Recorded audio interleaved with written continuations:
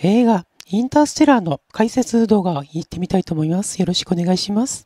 えっ、とですね、このインターステラーっていう映画はですね、えっ、と、クリストファー・ノーランという監督さんが2014年に公開しました。えっ、ー、と、SF 映画でございましてですね、作中でたくさん結構解説が出るんですよ。あの、伏線をすごく張ってる感じでして、その伏線も綺麗に回収するんで、例えば前半のところで、なんかこのシーンよくわからないなって言っても、後から、あ、そうかそうか、あのシーンはこのシーンを見せるための伏線だったんだとか、解説をね、セリフの中でよくするんですよ。登場人物がね。なんで、あの、すごくね、ストーリーっていうのは多分一回見たら、8割ぐらいの内容は理解できるんじゃないかなと思うんですけど、ただね、難しいのはね、あの、理論物理学とか、科学とかそういう天文学の用語がすごくたくさん出てくるんですよ。で、その用語が出てくるだけじゃなくて、ある程度のその理論物理学とか天文学の知識が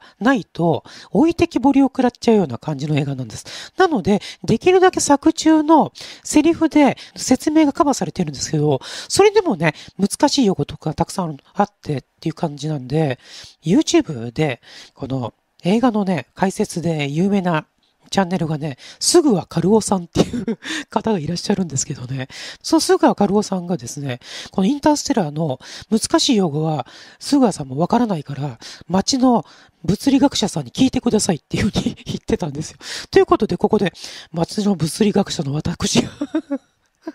解説をしようということでございますので、よろしくお願いいたします。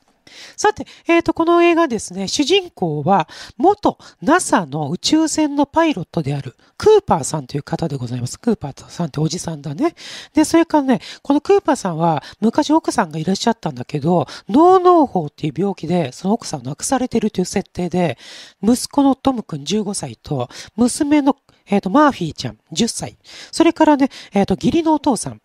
だから奥さんのお父さんのね、多分ね、の4人でトウモロコシ農園を営んでいるっていうことなんですよ。マーフィーっていうこの娘さんが、後々ね、あの、この作品ですごく重要なポジションを占めるようになるんですけど、このね、娘のね、マーフィーの部屋で幽霊が出るんですよ。この幽霊も映画の後半で、この幽霊の正体が分かってくるんですけど、娘のマーフィーの部屋で砂が模様を描くんですよ。で、そのね、模様を見て、この主人公のクーパーさんが、モールス信号じゃない、バイナリだって言うんですけど、さあ、このバイナリっていうところから解説したいと思います。このバイナリっていうのはね、二進法、二進数って意味なんですよ。なので、砂が書いてあるところが1、書いてないところが0っていうことで、重力が砂のものを書くわけね。この重力の正体もまた後ほど出てくるんだけど、その、えっ、ー、と、二進数を解析して、地図のある座標を示しているんだっていうことをクーパーさんが気づくんですよ。それでその座標のところに、娘のマーフィーちゃんと一緒に、夜中に行ってみた。そしたらね、そこがね、NASA だったんです。要するにアメリカのね、航空宇宙局 NASA だったわけね。その NASA では、ラザロ計画っていうものが秘密裏に進められているわけですよ。で、クーパーさんっていうのは NASA の、えーと、宇宙船パイロットだったから、その窮地の間から出るブラント教授と再会するわけですよ。このね、インターステラーの舞台になっている地球の世界っていうのは、50年前に重力異常が起こっ、それで地球の気候が変わっちゃったわけです。巨大な砂嵐が日常的に発生する異常気象が起こるようになってしまって、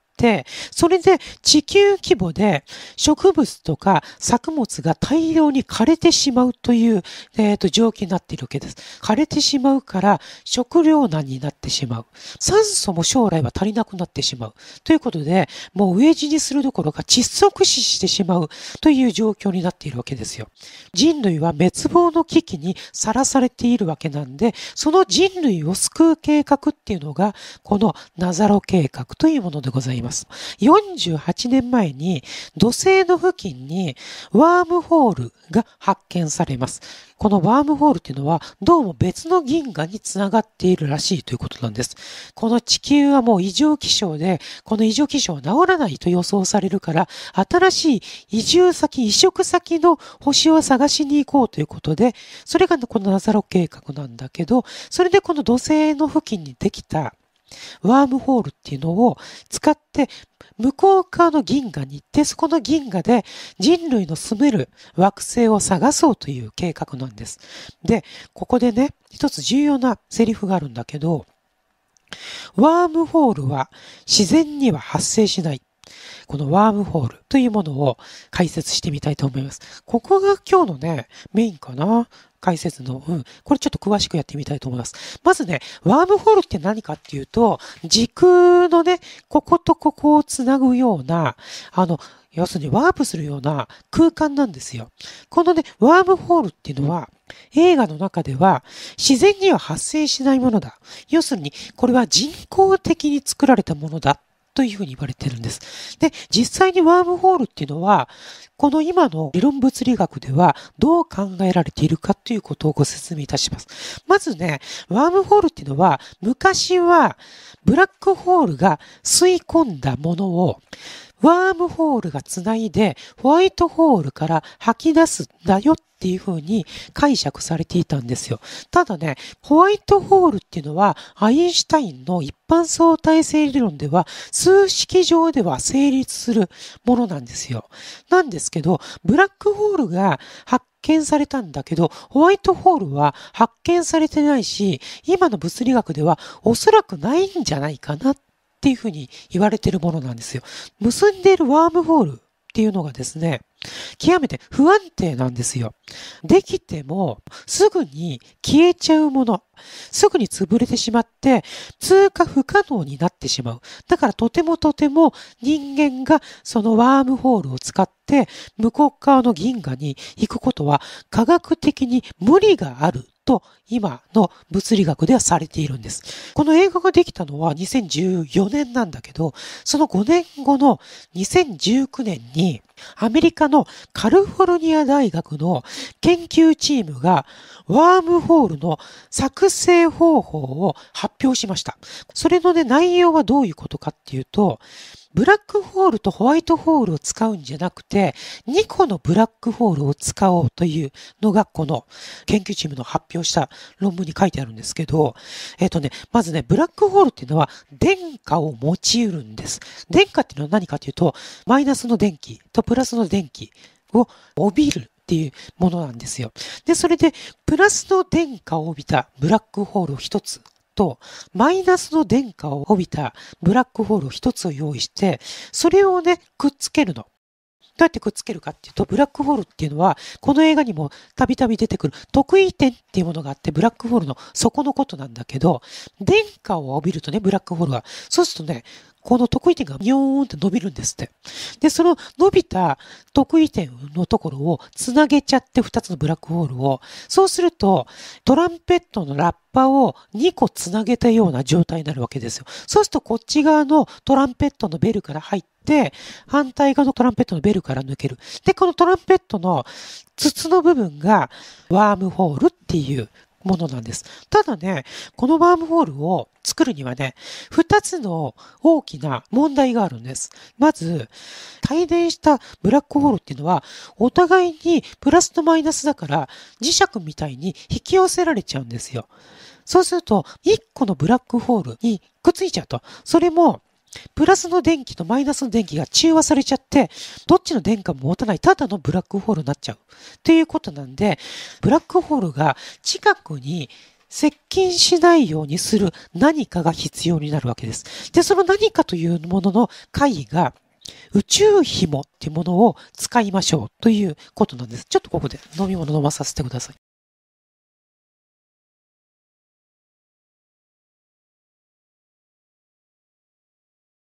はい。えっ、ー、と、お待たせしました。この内紐っていうのは、えっ、ー、とね、例えられるものが、氷のひび割れみたいなものだというふうに言われているものでして、でね、幅はね、ミクロの世界のものなんだけど、それがこう、すごいこう、長い感じのもので、時空の理論上の欠陥なんです。要するに、ひび割れだから、時空が壊れた部分みたいな意味合いで、極度に張り詰めた状態、その状態から変化しようとしないという性質があるの。要するに、伸びたり縮んだり曲がったりしないっていうような紐状のものがあるんですって。で、この宇宙紐を、こうピーンとね、こう貼っておいて、片方の端にプラスの電気のブラックホールをくっつける。で、反対側の端にマイナスの電荷を帯びたブラックホールをくっつける。そうすると宇宙紐は縮まないから、貼り付けておくことができる。二つのブラックホールを。そうすると、二つのブラックホールが宇宙紐を使って綱引きしているような状態になるということなんですよ。ただね、これだけではもう一つの問題が解決できないです。もう一つの問題って何かっていうと、ワームホール自体が非常に不安定で、フォトン、光子って言われるもので、要するに光の粒なんですけど、このフォトンを1個通過させただけでも、ワームホールは崩壊してしまうっていうぐらい非常に脆い性質があるわけです。で、潰れないように、崩壊しないようにするのにも宇宙紐を使おうということなんです。今度はね、宇宙紐は輪っか状にするんです。要するにフラフープみたいな感じの輪にして、それをね、このね、私の読んだ資料では、1個使うのか、それとも複数使うのかわかんないですけど、とりあえずこの最初の宇宙紐、ピンと張った宇宙紐を囲うように輪っかの宇宙紐を設置するわけです。トンネルみたいにしようと。要するに、トンネルのシールドコブみたいに、要するにこの支柱を立てると、そうすると潰れなくなっちゃう。安定する。で、これどういうふうに安定するかっていうとね、輪になった宇宙紐が小刻みに震えてっていう性質があるから、それで時給の構造をかき混ぜて、輪の周囲に負のエネルギーを与えることによって、この負のエネルギーは、負の質量を持った物質と同じ働きをするため、ワームホール安定化する作用があるそうなんですよ。この研究チームの発表によると。ということで、こうすると、ワームホールが作れてしまうらしいです。実際にどういうふうに作るかっていうのがまたね、ここがいつもの通り、理論は先にあるんだけど、これからの研究課題ということでございます。さて次に参ります。えっ、ー、とですね、ラザロ計画。この映画の中の、えっ、ー、と、人類救うラザロ計画なんですけど、これにはね、プラン A とプラン B というものがございまして、プラン A っていうのは宇宙ステーションに地球人を全員乗せて宇宙ステーションで移住しようっていう計画なんです。で、これはね、重力のコントロールによって宇宙ステーションを打ち上げる必要があるわけです。要するにね、宇宙ステーションみたいな大きなものを打ち上げるには、もう打ち上げロケットで打ち上がらないと、とても地球の生き残ってる人たち全員を救うような、もう大きいのを打ち上げるロケットなんてないから、どうするかっていうと、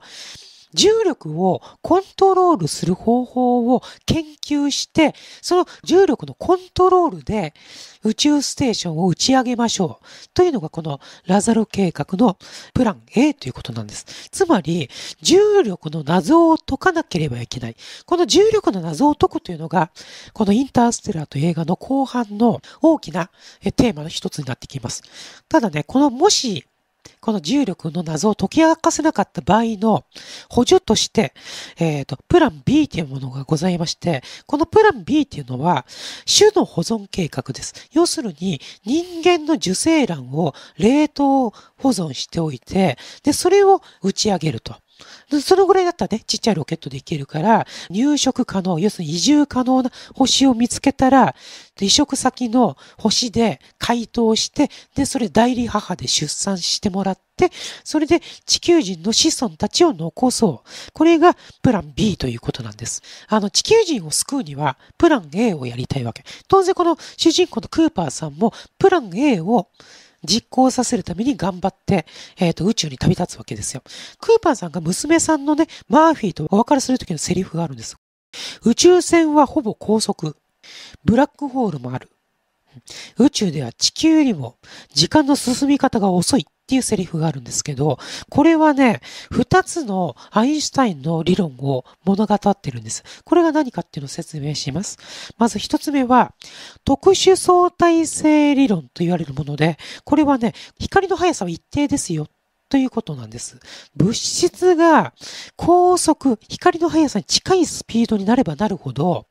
時間の進み方がゆっくりになる。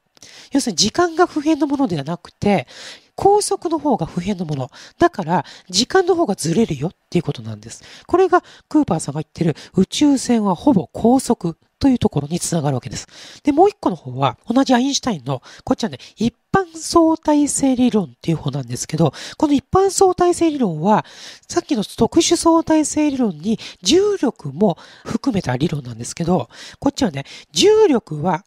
時空を歪ませて、時間の進み方も変化させるという理論です。重力ポテンシャルの低い惑星上では、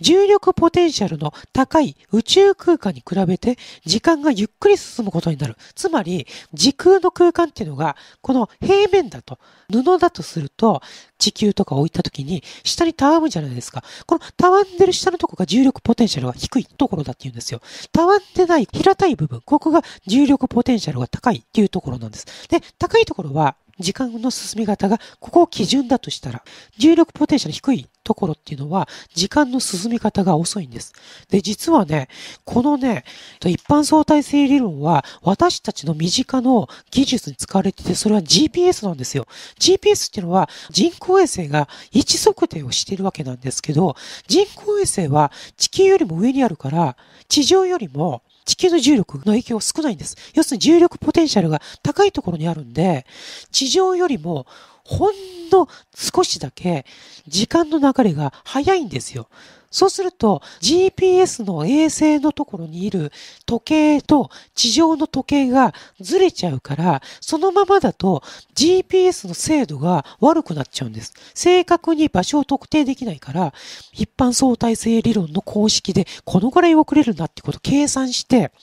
GPS の精度を上げているってことをやってます。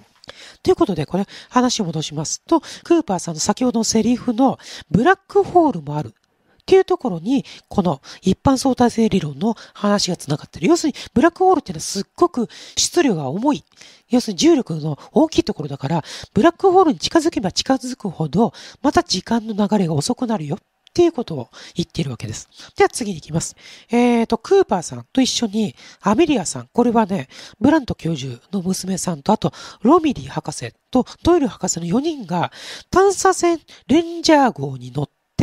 宇宙に行くわけですよ。先にね、あの、このラズル計画っていうのは、12機の探査船を飛ばして、移住可能な星を探しに行ってるわけですよ。12機を飛ばしたうちの3つの宇宙船飛んでった博士から入植可能な星かもしれないよっていう信号を受信しているわけです。なんと、一つの惑星系に三つの人類が住める可能性のある星があるよっていうことで、その星を一つ一つ回って調査してこようというのが、このクーパーさんたちの使命であるわけです。地球の周回軌道上にね、エンデュランス号っていう宇宙ステーションだね。で、その宇宙ステーションとドッキングします。ドッキングして、その宇宙ステーションと一緒に、レインジャー号、土星の、にあるワームホールを通過し、ていこうというストーリーでございます。この映画では、ドッキングが難しいというシーンが出てきます。実際にかなり難しい技術なんです。なので、宇宙船と宇宙ステーションがドッキングするときは、秒速0.03メートルから0.06メートルほど、つまり、1秒間に3センチから6センチぐらいのスピードでゆっくりゆっくりドッキングしていくということをやります。ちなみにね、ランデブーっていう言葉もあるんだけど、ランデブーっていうのはドッキングをしないで近くに接近するだけでもランデブーなんです。さて、この後、この4人のクルーたちは土星まで行くのに2年かかるんで、その間は酸素とか食料とかを無駄に使わないように冬眠カプセルに入ります。これ2001年宇宙の旅と一緒だね。冬眠カプセルに入る前に人工知能ロボットトのターズっていうのがいるんですけど、このターズのセリフに火星まで8ヶ月、重力ターンを使って土星まで14ヶ月っていうセリフがあるんです。そこでこの重力ターンっていうものをこれからご説明したいと思います。というわけで、ちょっとまた飲み物飲ませてください。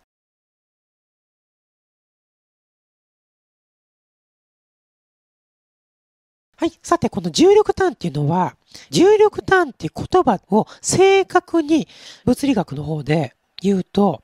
ただの惑星を使って方向を変えるっていうだけの話なんですよ。私思うに、この映画の中の重力ターンっていうのは正確な表現ではないと思います。というのも、クーパーさんたちは土星まで早く行きたいの。早く行って早く人類を救いたいから、当然加速したいと思うわけです。重力ターンプラス加速をすることをスイングバイと言います。天体の運動と天体の重力を使って宇宙船の運動ベクトルを変更する技術ということで、天体重力推進という言い方もあります。これはね、えっ、ー、と、実際にもうかなり前、50年ぐらい前の探査船で使われている技術です。何がいいかっていうと、推進剤の消費がない。つまり、燃料を使わなくても、飛躍的に加速することができるわけです、宇宙船が。で、どうやるかっていうと、このスイングバイには、加速スイングバイと減速スイングバイの2つがあって、加速スイングバイっていうのは、この映画の場合だと火星なんですが火星がこうやって公転してますね。そうすると、その公転している火星の後ろに宇宙船が入って、火星に引っ張られて進路を変えるときに、火星がこう動いていくわけだから、火星に引きつられて加速するんですよ。火星のスピードを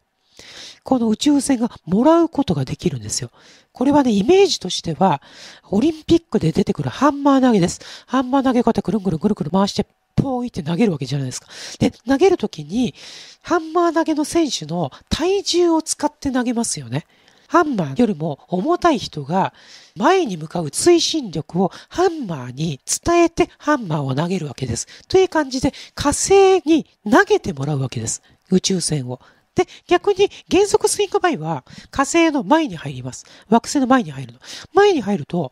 入った後の抜けるときは、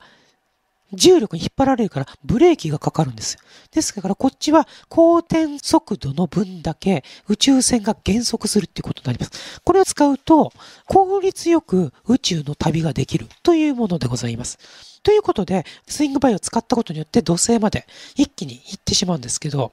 さあ、ここで、冷凍睡眠から覚めた4人たちは、土星の近くにあるワームホールを見ることになるんです。でね、クーパーさんも驚いたし、私も驚いたんですけど、球なんですよ。球体なんですよ。ワームホールっていうと、なんかイメージとしては、穴が開いてるイメージなんですけど、で、どうして球に見えるかっていうのをね、これちゃんとね、あの、この映画の中で説明してます。ワームホールは、紙に書くと円ですよね。4次元のこの時空に対して5次元方向に拡張するものがワームホールだから、2次元の紙の上に書いた円が1次元増やして3次元方向になったらどう見えますか？あ、9ですよね？っていうような、よう説明されるんですけど、これね、へえ、そうなんだって私思ったんだけど、え、本当かな？っていうのも、実は私思うんですよ。本当にね、9なんですかね。これね、ワームホール見たことないからわかんないけど、なんかね、傷につままれたような感じはします。ちなみに映画の中では、9である、このワームホールに宇宙船がこうやって近づいていくんだけど、このシーンね、天空の城ラピュタの、あの、竜の巣に近づいていくシーンにそっくりですよね。ラピュタも、ひょっとしたらこれワームホール表現してるのかなみたいな風に、ね、ちょっと思ってしまいました。ということで、このワームホール通過中に、接近遭遇っていうものをするんですよ。これはアメリア博士が窓の外に見るんですけど、ワームホールを作ってくれた何者か。彼ららしい影を見つけるわけですよ。で、それで、これ接近遭遇だ。えー、これはね、結構ね、オカルトマニアの中では有名な言葉なんだけど、未確認飛行物体、要するに UFO を目撃したり、接触したり、またはね、中に乗ってる宇宙人と交流したり、またはさらわれちゃったり、インプラントされたり、宇宙人との子供を設けたりみたいな、UFO とか宇宙人と遭遇することを接近遭遇これはね、マニアにはワクワク案件なんですよ。ということで、えーとね、今日はね、実はね、ここまでなんですよ。というのも、時間やっぱり押してますよね、かなりね。今日実はね、全部解説しようと思って、原稿書いていったら、10枚ぐらいになっちゃったんですよ。でね、普通でこのライブ配信って、1部、2部、3部合わせて4枚ぐらいに収めないと、とてもこの2時間のライブ配信に入らないんですよ。ということで、ちょっと申し訳ないんですけど、次回、に、また第2弾としてインターステラーのこの続きをやってみたいと思います。ひょっとしたらね、3回になっちゃうかもしれないなっていうぐらい、非常にね、この映画の物理学の考察っていうのもたくさんあるんですけど、それぐらい作り込まれた映画っていうことなんで、次回もぜひお楽しみなさってください。ということで、ピアノのコーナーに移りたいと思います。うん。どうしようかな。宇宙人さんと一緒に UFO 飛ばしっこしようか。ツーリング。そんなイメージでやってみましょうかね。ということで、え、そんな、もやっとしたイメージのピアノ弾いてみたいと思います。よろしくお願いします。